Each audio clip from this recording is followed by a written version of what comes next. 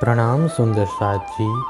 पिछले वीडियो में हमने प्रकरण सात का पाठ किया, जिसमें हमने गोपियों के श्रृंगार का वर्णन किया। तो आज हम आगे का प्रकरण का पाठ करेंगे, जिसमें श्री राज्य के श्रृंगार का वर्णन है। श्री राज जी नो श्रृंगार। पहलो श्रृंगार की दो मारे वाले जिए।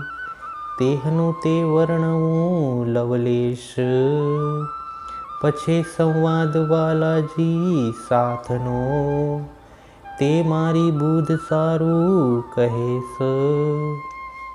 योग माया के मंडल में प्रियतम श्री कृष्ण ने सर्वप्रथम अलौकिक श्रृंगार धारण किया इंद्रावती कहती है कि इसका थोड़ा सा वर्णन करने के उपरांत प्रियतम तथा सुंदर साथ के बीच हुई पास पारस्परिक प्रेम संवाद का वर्णन भी मैं अपनी बुद्धि के अनुसार करूँगी।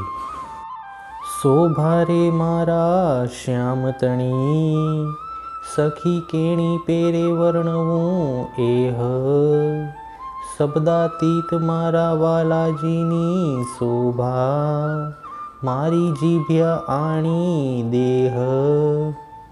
हे सखियों मेरे श्याम सुंदर श्री कृष्ण की शोभा का वर्णन किस प्रकार करूँ? मेरे प्राणाधार प्रियतम की शोभा शब्दातीत है। मेरी यह जीवा तो मायावी देह का ही भाग है। चरण तना अंगूठा कोमल नख हीरा तना झलकार। रंग तो जोई जोई मोहिए पासे कोमल आंगलियों सार। श्रीराज जी के चरण कमल का अंगूठा कोमल है तथा उसके नख हीरे की भांति तेजस्वी आभा से चमक रहे हैं। चरणों की सुंदरता और रंग को देखकर मन मोहित होता है। उस अंगूठे के पास की चारों उंगलियाँ कोमल और श्रेष्ठ है।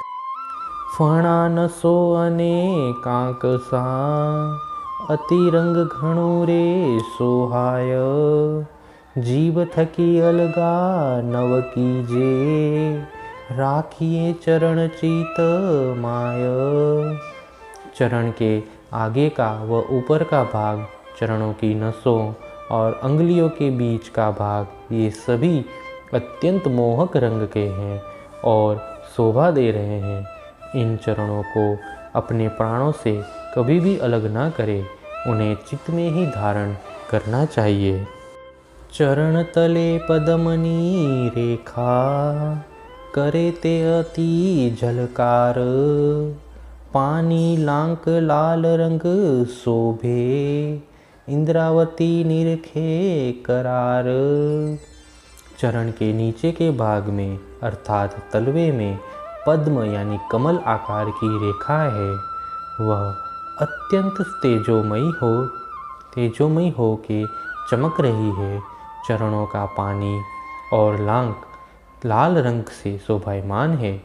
इंद्रावती उन्हें देखकर अत्यंत आनंदित होती है। टांकन घूटी ने कांडा कोमल, कांबी कडला बाजे रसाल। घूघरड़ी घम घम स्वर पूरे। माहे झांझर तणो झमकार। चरणों की एड़ी के ऊपर का भाग, घोटी और कलाइयाँ अत्यंत कोमल है। इन पर कड़े और नुपुर पहने हुए हैं, जो रसमय एवं मधुर ध्वनि करते हैं। उनमें लगी हुई घुघरियाँ घमक घमक ध्वनि द्वारा झनझना रही है। कांबी कडला जुगते जड़िया सात बानी नंग सार। लाल पाना हीरा माणिक नीलवी, कुंदन मोती झलकार। उन्होंने पहने हुए नुपुर और कड़े में सात प्रकार के सुंदर रत्न बड़ी कुशलता से जड़े गए हैं।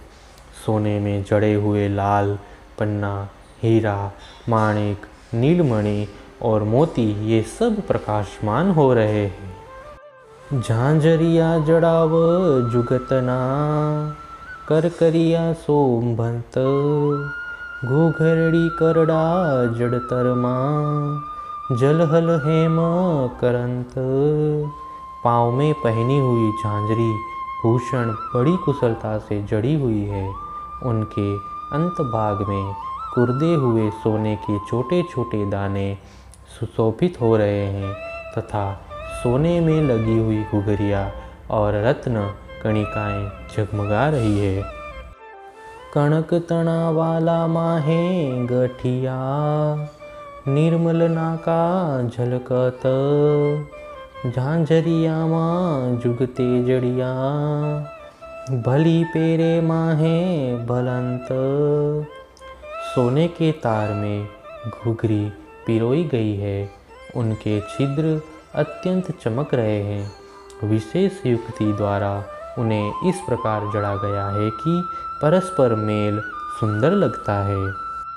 पिंडी ऊपर पायचा झीणी कुरली झलवार, केसरिये रंग सूथणी। इंद्रावती निरखे करार। प्रियतम श्री कृष्ण के पाँव की पिंडलियों पर धारण किए हुए पायचा भूषण की भांति नीचे वाले भाग पर छोटी छोटी बूटियाँ काढ़ी गई हैं। सूथनी यानी पायजामा केसरी रंग की है। इंद्रावती इसे देखकर आनंदित हो रही है। प्रणाम जी।